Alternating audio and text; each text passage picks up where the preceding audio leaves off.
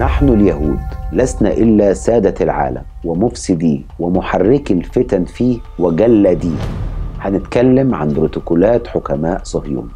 1901 هو أول مرة يظهر في التاريخ البروتوكولات في شكل مقالات صحفية اتنشرت في صحف كتير في روسيا. وهنحكي حكاية المقالات وظهرت إزاي. بس من ساعة ما ظهرت بروتوكولات حكماء صهيون للعالم ونظرية المؤامرة بقت عنصر أساسي في كل حاجة في الحياة. مجموعة المقالات اللي اتنشرت سنة 1901 كانت عبارة عن مقالات مستقلة في كل مقالة بتشرح بروتوكول من بروتوكولات حكماء صهيون وإزاي اليهود أو الصهاينة هيتحكموا في العالم في كل التفاصيل. طبعا المفروض إن ما كانتش المقالات دي اتنشرت لكن المخابرات الروسية بتقول إن واحد من المخابرات الإنجليزية لقى المقالات دي وهما بيفتشوا في بيوت ناس يهود كتير جدا. الموضوع بدأ من روسيا. ما بين 1901 ل 1903 كانت المقالات دي بتنتشر بقوة جدا في المجتمع الروسي وبعدها بدأت تنتشر في المجتمع الأوروبي وبدأ العالم كله يسمع عن فكرة البروتوكولات اللي بتتحكم في العالم. كانت قوة اليهود في فترة ظهور البروتوكولات للنور ما تتعداش غير إنهم مسيطرين على عنصر التجارة فقط. وبالمناسبة اتعمل تحقيق كبير علشان يعرفوا البروتوكولات دي ظهرت منين ومين كتبها ومين ألفها. والحقيقة انه ما كانش فيه أي إجابة على الموضوع ده لأنه فعليا ما فيش مؤلف حقيقي لبروتوكولات حكماء صهيون وأول ظهور للبروتوكولات دي كانت باللغة الروسية. ويقال إنه تم تأليف جميع البروتوكولات بالكامل في فرنسا من خلال واحد من أهم ضباط المخابرات الروس اللي كان عايز يرسخ في فكر كتير جدا من الدول إن اليهود أو الصهاينة ملهمش أي أمان وإن كل أفكارهم وأحلامهم تتمثل في السيطرة على العالم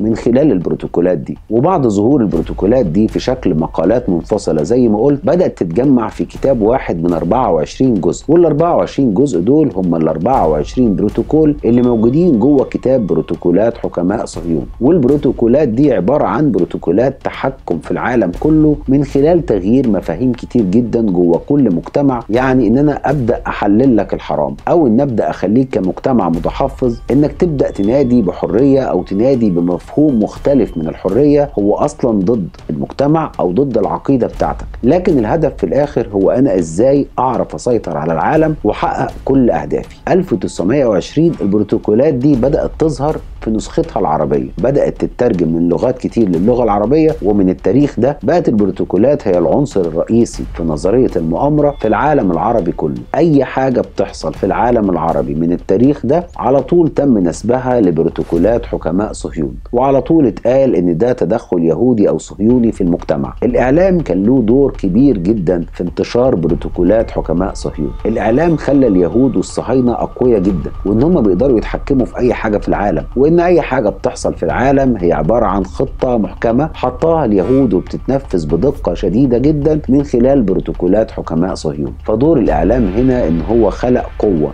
مش حقيقية للمجتمع اليهودي. النقطة الثانية إن زي ما بروتوكولات حكماء صهيون فادت اليهود هي ضرتهم جدا. لأن بقى أي حدث بيحصل في العالم يتصنف إنه حدث سيء كان على طول بيتم نسب الحدث ده لليهود ولبروتوكولات حكماء صهيون لكن الحقيقة إن كتير جدا من المتخصصين في دراسة المجتمع الصهيوني وتاريخ الصهيونية. وكان من أهمهم دكتور عبد الوهاب المسيري اللي أكد إن كتاب بروتوكولات حكماء صهيون ما هو إلا كذبه كبيرة جدا اقتنع بيها وعاش فيها مجتمعات كتير. وبيتقال إن البروتوكولات دي من تأليف المخابرات الروسية وهي اللي ألفت البروتوكولات دي من خلال بعض الأفكار أو بعض الأشخاص اللي كانوا عايشين في وسط المجتمع اليهودي وعارفين المجتمع اليهودي ممكن يفكر إزاي وممكن يستخدم اللغة بتاعته في الكتابة إزاي؟ علشان يضمنوا إن العالم كله ينفر من التعامل مع اليهود وإنه يظهر للعالم إن اليهود أو الصهاينة ليهم وجه آخر خفي سيء جدا هدفه السيطرة على العالم. وفعلا بسبب بروتوكولات حكماء صهيون وظهوره دول كتير جدا اضطهدت اليهود وما كانتش حابة أصلا وجودهم على أرضها. والحقيقة الثانية إن البروتوكولات دي متألفة مش بشكل عشوائي لأن ما فيش حد في المجتمع الصهيوني أكد على إن البروتوكولات دي صحيحة صحيحة أو غير صحيحة. محدش نفاها ومحدش أكدها إلا إن دورها الرئيسي في المجتمعات العربية إنها حولت معظم المجتمعات العربية لمفعول به ومش فاعل. إحنا كمجتمعات عربية بننسب